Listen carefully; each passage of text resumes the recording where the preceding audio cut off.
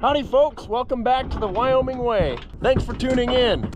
Join me today as we ultrasound test these registered bull calves. We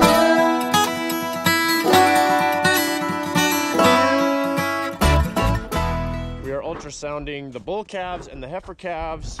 We have hired a technician for the day to come out and use his ultrasound machine to get a visual picture of the carcass traits on these registered calves. The ultrasound technician is going to scan for two important things today. Intermuscular fat or IMF, which is a measurement of the amount of fat within the muscle, and ribeye area, which is a measurement of how big the muscle is. Cattle with higher amounts of intermuscular fat are going to generate beef products that are more tender, more juicy, and more flavorful. And a large ribeye area translates into bigger steaks.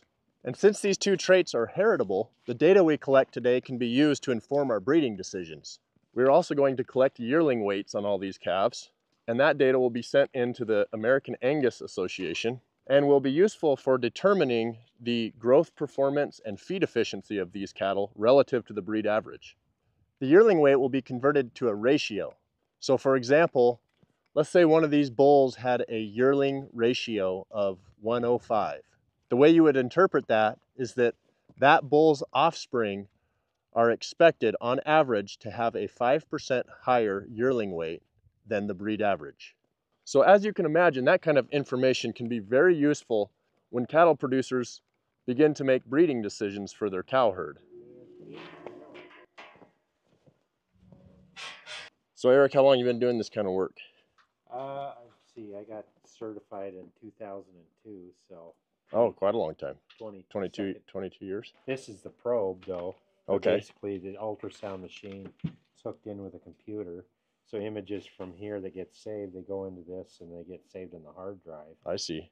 And then from here, like tonight or when I get home, I'll just uh, send them on the internet to. We I use two different labs, Okay. and so uh, there they interpret it, and then they send it to AAA or American Angus Association or whatever breed association you're with, and then they uh, send it back to the breeder, the information. Yeah. How many cattle do you think you do a year? Oh, it's it kind of varies. Like last year, I had a guy I started doing some wagyu and akaushi cattle for a guy, and he wanted his whole herd kind of done so he could see where his genetics were. And so I did about I don't know eight nine hundred for him, and so it it varies. You know, sometimes it's two thousand, sometimes it's thirty five hundred. So too. And what are we testing for today? We're just doing. We're so we're looking for carcass. We're looking for back fat, marbling, and ribeye area. So yeah, Awesome. yeah.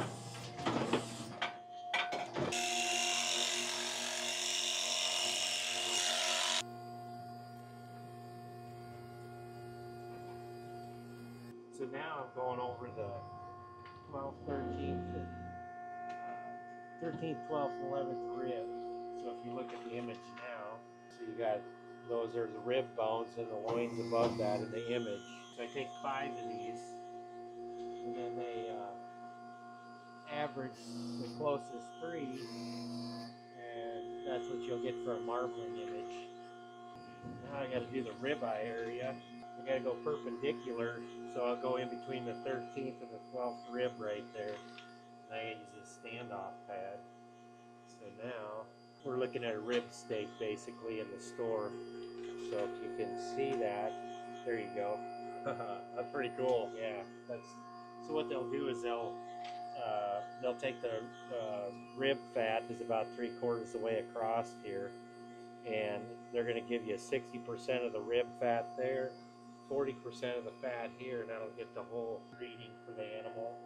And then uh, what they'll do is you can kind of see that oval there. If you look at a rib steak, just I always look for the acorn fat if it's in a boneless one, but the acorn fat is right up there, and they'll trace that loin in the lab, and then they'll get a square inches measurement. So I'm done on this one.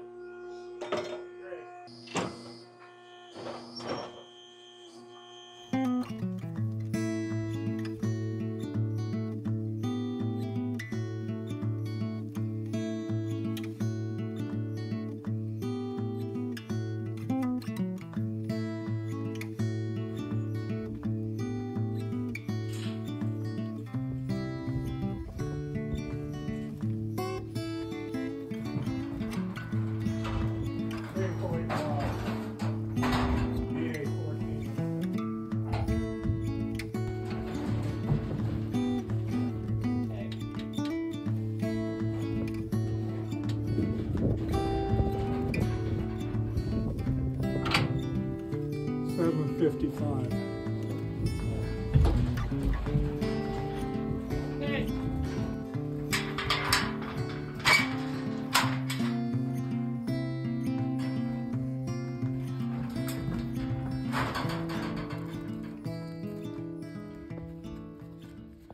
Okay, folks, so about a week has gone by and we just got an email with the ultrasound results, and I just wanted to show you the data. So here's a spreadsheet of all the ultrasound data for the heifer and bull calves that we ultrasounded last week. And uh, I'll just go through this row. This particular bull calf scored really well on his ribeye and IMF scores, and so I wanted to just point this bull out to you. So starting on the left here, um, this is the tattoo number of the calf, and B means it was a bull. Uh, he was born on March 7th, two, 2023. Um, this is the identifying number for the Angus Association of this animal.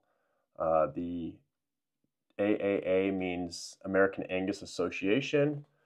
Um, these two columns right here are his dam's information, his mother's information and then the sire information. Um, this code is for the technician that took the data. And then, yeah, February 28th was the date that we did the ultrasound uh, scan. So if we come over here to ribeye, 10.4. So this figure is expressed in inches. Uh, this, this, the size of the scan in inches. And generally, as a rule of thumb, you want to have one inch of ribeye per 100 pounds of body weight. So you can see that this calf weighed 915 pounds when we weighed him and had 10.4 inches of ribeye area, which is really, really good. And if you come over here to this column, this is the ribeye ratio, 108. So this, this figure would be interpreted that this bull had 8% higher ribeye area than the average of his peer group. So he is 8% above average. So really good there on the ribeye score. Coming over to IMF, the percent IMF was 4% intermuscular fat. If we come over and look at that expressed as a ratio, you can see that this bull did exceptionally well on his IMF score, 123, meaning that he is 23% above average in his peer group for IMF.